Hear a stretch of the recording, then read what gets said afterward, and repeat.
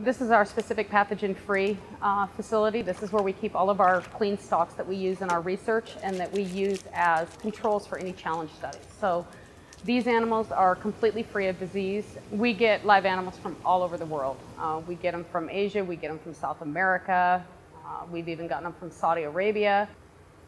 There's very few countries we haven't got them from that are actively raising shrimp.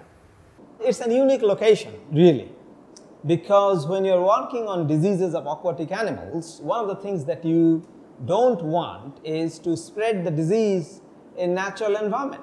And um, fortunately, we are located in a um, unique uh, position because there is no um, you know, natural water bodies uh, hundreds of miles from here. One of our key missions is to provide disease diagnostic service to shrimp industry globally. So farmers, um, shrimp farmers uh, worldwide, they send shrimp samples uh, to our lab for disease diagnostic purpose and we carry out all kinds of disease uh, detection work in our lab and provide them with the results. So we need to make sure that these animals are free of diseases because we don't want to spread the disease uh, inadvertently or even knowingly shrimp industry is very big in countries with large coastal boundaries, particularly in uh, North and, and, South America as well as in Asia.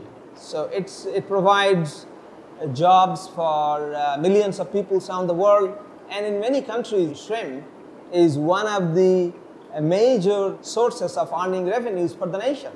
We also provide services to shrimp industry globally in terms of uh, carrying out some basic research like say a company wants to develop an antiviral or antimicrobial therapy and we, we perform all those experiments. So it's a wonderful an opportunity for us to interact with the researchers uh, globally and also train them so that we uh, collectively can serve the industry and uh, make shrimp farming sustainable.